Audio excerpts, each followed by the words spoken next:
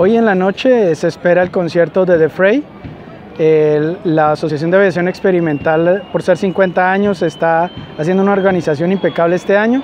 Es la primera vez que va a hacer un concierto una banda así de grande acá en, acá en Oshkosh. También tenemos varias exhibiciones. Al fondo se alcanzan a oír ruidos de, de jets y de diferentes tipos de aviones que se van a estar volando durante toda esta semana en este evento. Espero, vuelvo y les repito, les gusten todos los videos que vamos a estar subiendo.